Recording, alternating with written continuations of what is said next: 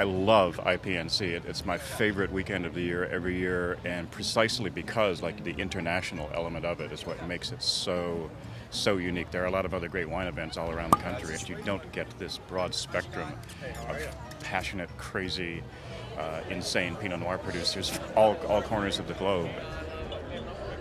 And I'm Hannes Reinisch. We are coming from Austria. Jackie from Albert Mann, Alsace, northeast of France. I'm Mark Vlossak, St. Innocent Winery, Salem, Oregon. Diana Gonzalez, I'm the winemaker for Lynmar Estate Winery in Sebastopol, California. From Burgundy, Domaine Jean-Jacques Confuron. Thank I'm you. Sam Weaver from New Zealand.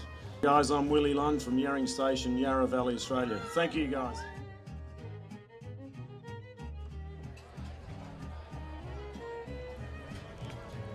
The salmon is the quintessential Northwest celebration food because the Native Americans developed this style of cooking to celebrate their season and their salmon season, which sustained them. And so when the Native Americans 200 years ago would get together to celebrate life, it was doing what we're doing here. I can't think of a better place in the world where you can come and try the wines that you can get here, but also have 50 plus of the uh, Northwest best chefs prepare food for you at the same time.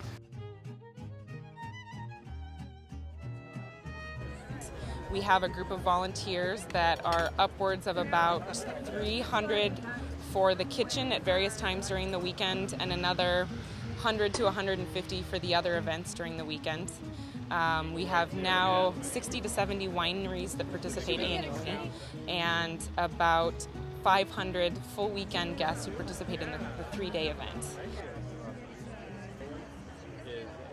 Food is such an important part of the event, and, and that has really been a, an evolution in the event since the first event in 87. And it's really a food and wine event where Pinot Noir is the focal point. Uh, eating well is not a problem here.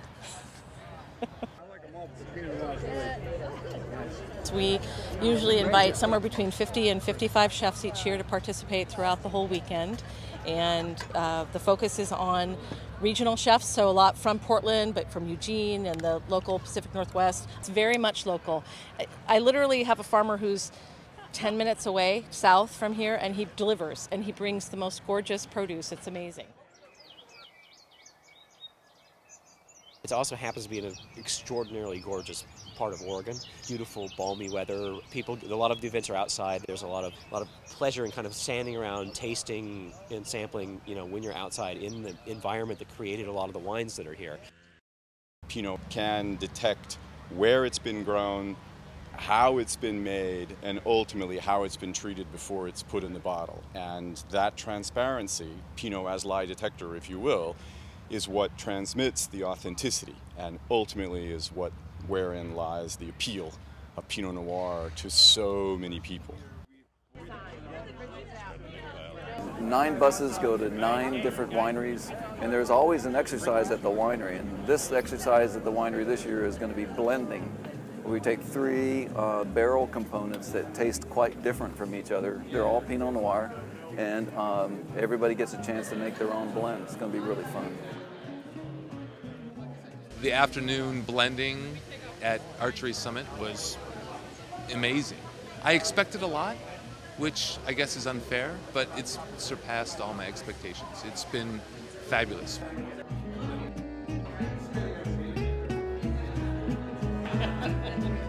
Today, the, the food and wine pairing seminar to me was full of value.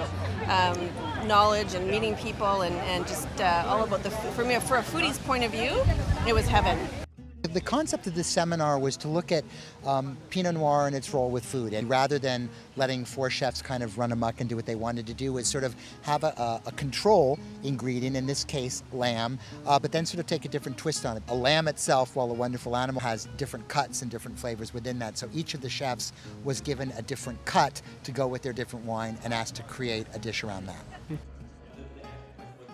I loved having, you know, first the wines alone and then the different preparations of lamb. Not that I often eat lamb at 10 in the morning, but I'll Yeah. make exceptions. If you have any interest in Pinot Noir at all, you've got to attend this event. You will be educated about it, you'll learn about it, you'll meet winemakers that will stimulate your interest, you'll meet consumers who have passion for Pinot Noir, and when you leave here and you get on the plane and go back to wherever you came from, you're going to say, man, I can't wait to get back there the next year. This that was the greatest time I ever had. Well, you know, I, I go to a lot of Pinot events every year. This is my favorite one uh, by far, just because the generosity of everyone that's here, um, they're bringing their best stuff, and we know it, and that's why everyone comes to it. But the greatest thing is not only do you have media people like myself, great sommeliers, great winemakers, but you also have consumers here. So we're all learning together, and there's a lot to learn about Pinot Noir. Well, next year is our 25th anniversary, celebrating a quarter century of, of the IPNC, and we are endeavoring to reunite the original winemakers who participated in 1987. And it's, it's quite a group. Um, it's some, some awfully big names from Burgundy and California, and the pioneering families of Oregon at that time. It'll be really, really exciting.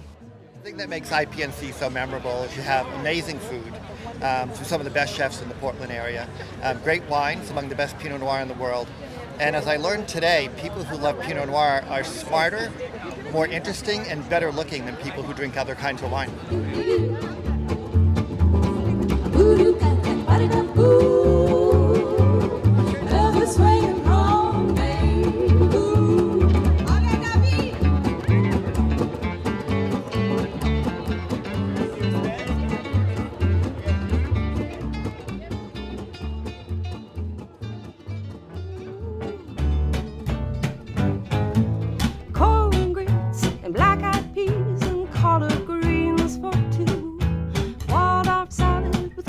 Top, hot cocktail nuts make